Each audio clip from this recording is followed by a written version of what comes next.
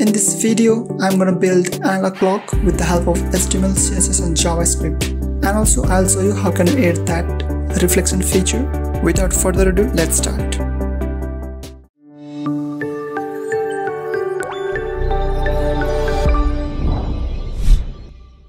Hello and namaste everyone. This is Jeet Saru with Coding Design. Welcome to our channel. If you are new here, please be sure to hit that subscribe button. Let's create index.html file. Inside the index.html file, if I type exclamation sign and hit that tab button, you will get this HTML5 boilerplate. Now inside the title tag, let's keep the title as analog clock using HTML, CSS and JavaScript. And now inside the body tag, let's create the div with class name clock. And inside that div, I'm creating another div with class name hour and let's duplicate it for more two times. Now instead of that hour let's change it to minute and also let's change it to second now let's save it you can see in the same folder i do have image named clock.png and also the style.css file inside the style.css file for the root pseudo class, I have declared some color variables. I have even there some orange color, yellow color and also dark blue color. And for the universal selector, in order to prevent the browser's default margin and padding, I have given there margin 0 and padding 0. And similarly for the box sizing, I have given border box. Now let's link this CSS file. So just below the title tag, let's link our style.css file, okay?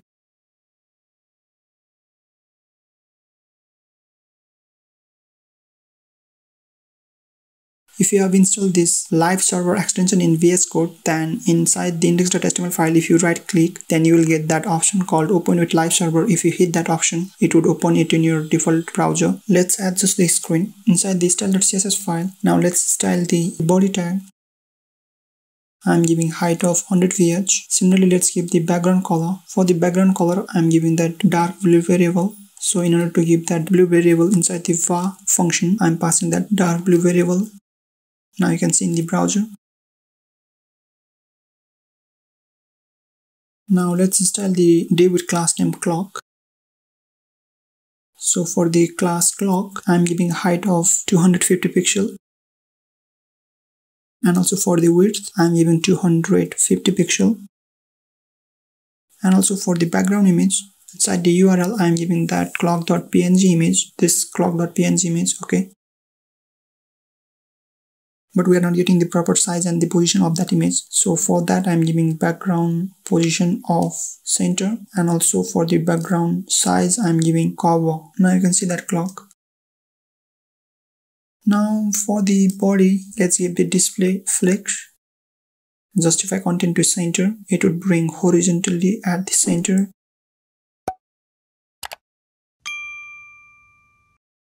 Now if you look at the final output, at the center of that clock you can see that white circle. So in order to create that white circle for the clock class, I'm giving the before pseudo element now let's give the position of absolute. Class clock is our parent. So let's give the position relative for that class clock. And for the before pseudo element, now let's give the content. I'm giving empty string. This content CSS property is compulsory for this before pseudo element. Otherwise, you won't be able to create that pseudo element. For the height and width, I'm giving 15 pixel and also let's give the background color for the background color for now i'm giving white color let's give the border radius. I'm giving 50% so that it would make circle now you can see.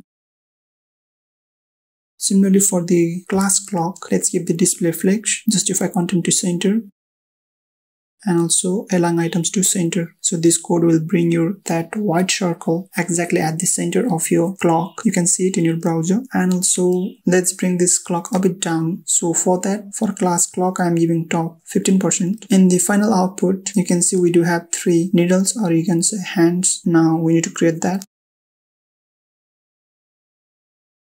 So now let's style this class hour, minute and second. This class are sharing the same CSS value. So for that I'm giving comma.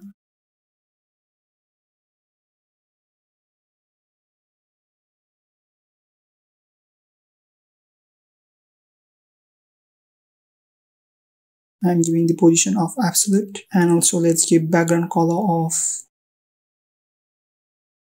that orange red variable. Okay let's give that orange color. So let's copy this orange red color variable and let's paste it there.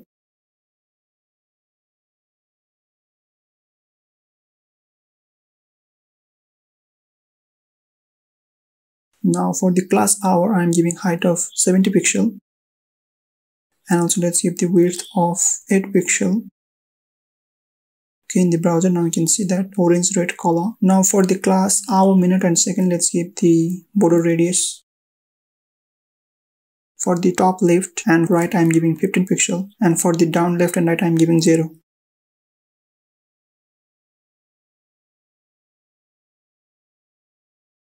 Now let's give the transform. For the transform, I'm giving the translate. For the x-axis and y-axis, I'm giving minus 50%. Okay, it is not exactly at the center, so instead of that translate, let's give translate y and let's remove that 50%. Okay, now, yeah, this is what you want. But you can see that white circle is at the back. So for the class hour, if I give the z-index of 100,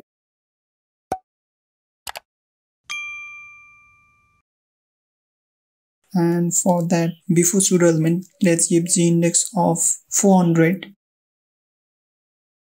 okay then now you can see that white dot or that circle is now at the front now select this code and let's duplicate it for more two times now instead of that class hour let's give minute and also let's change it to second for the class minute, let's give height of 80 pixel and width of 5 pixel. And for the z-index, I'm giving 200. And for the background color, let's give that yellow color. So let's copy that yellow variable and let's paste it. Okay, in the browser now you can see now for the class second, let's give height of 120 pixel and for the width, let's give 2 pixel. For the z-index, let's give 300. Okay, now you can see that long needle. Now for the class hour, minute and second, let's give rotation. So for the transform property, we are giving the rotate value. So inside the root pseudo class, you can declare rotate variable and for now I'm giving 0 degree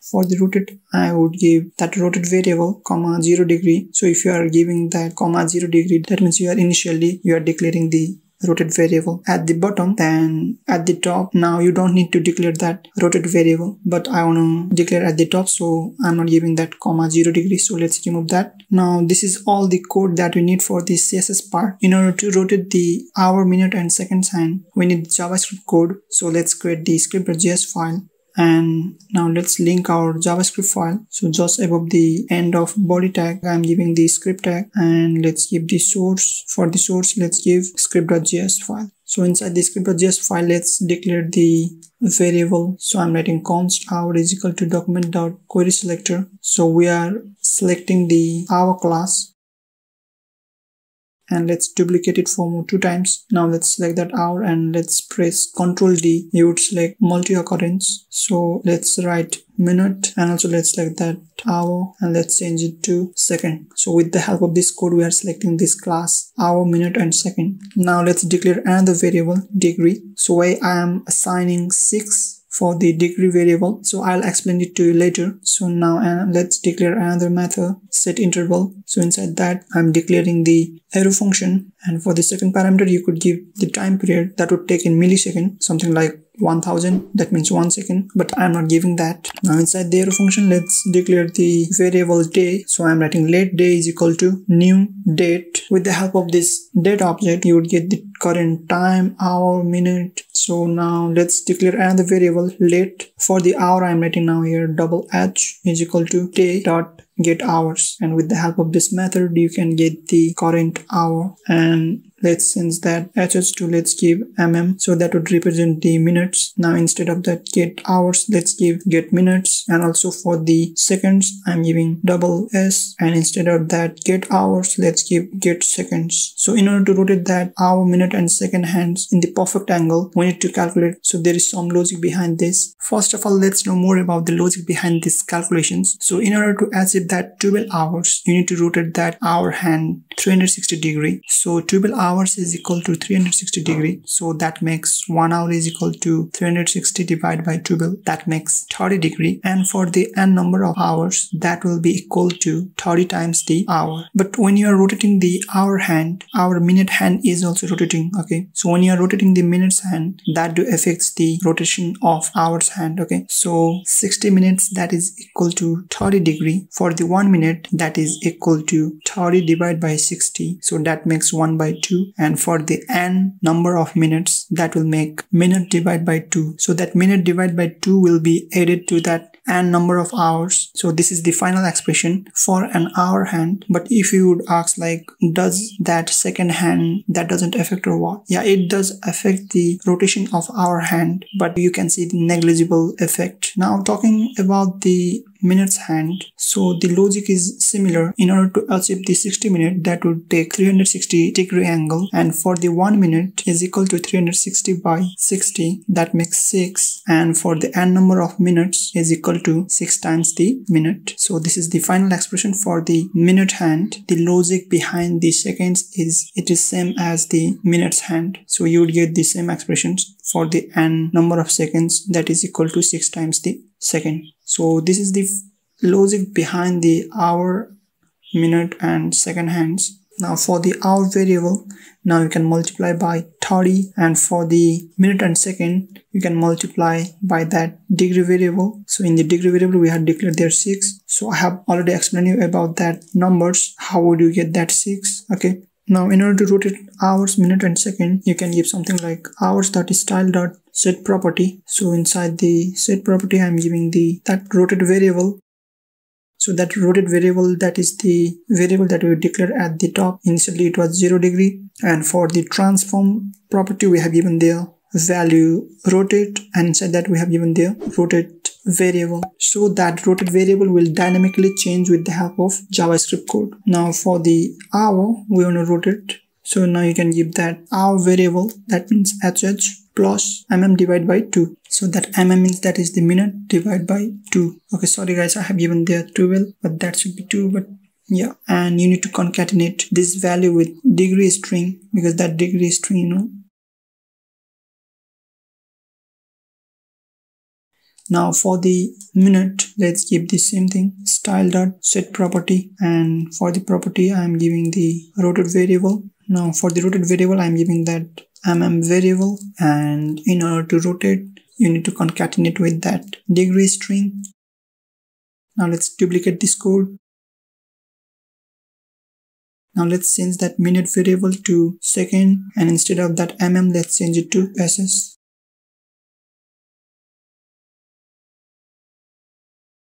in the browser now you can see it is rotating but you can see that hour minute and second hands they are not in the proper position. It's because the transform origin by default it is at the center. So if i give for the transform origin to bottom if I save now you can see this is what we want. So everything is looking good but I want to give reflection effect for that clock. So in order to give that reflection effect for the class clock the old version of browsers they may not support this property. So if I give the prefix webkit hyphen webkit hyphen box reflect so for the first value it would take the direction. If I give the left it would reflect to the left side. If I give the above it will reflect at the top side but I want to give it to the down so I'm writing below. And for the second value this is the offset or the distance. I'm giving 15 pixel. And for the third value you would be giving the image. So I'm giving linear gradient. For the first color I'm giving the transparent.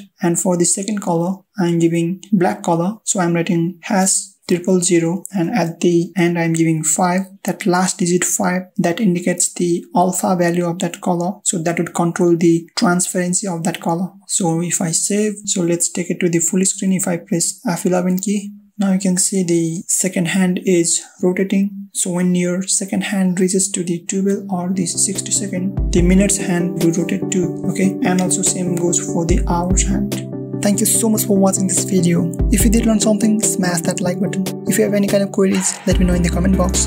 Share this video if you think someone needs it. And also, if you haven't already hit, hit that subscribe button and also the notification bell icon. Remember, there is always more to learn, so keep learning.